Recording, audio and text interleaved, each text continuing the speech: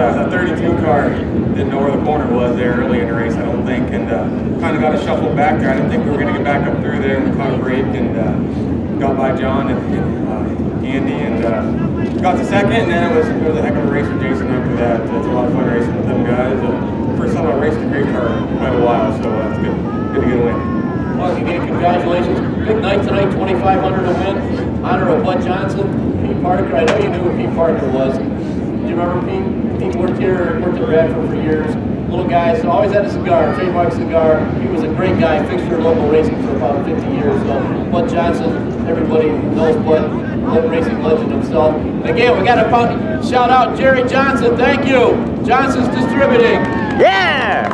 So, who would you like to thank tonight? Uh, number one, my dad. I, I couldn't do any of this without him, that's for sure. Uh, Viper Motorsports, Murphy's Logging, C&J Dairy, uh, Auto Wrecking, Specialty Products, um, Rocket Chassis, Hoosier Tire, uh, all you guys up here in McKean for giving us a place to race. It's gotten better and better and better every time we come, and uh, looking forward to hopefully coming back as much as we can next year. And uh, my, boy said he was he was really tired, but he really wanted to get on the roof, so we had to do everything we could do to win that on. Well, congratulations. Everybody give him a hand. Max Blair.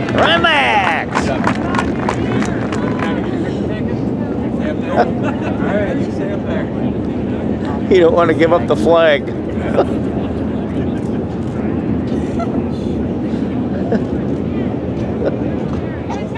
Yeah, because I gotta be at Hummingbird tomorrow, hundred lap tour, and then the demo gonna be after that, so. I know, but I'm committed there. Yeah. Bob, I'll put it on your, um, because a lot of people announce it. I know, So maybe put it on your guys' uh, Facebook page and say, hey, it's our merchandise.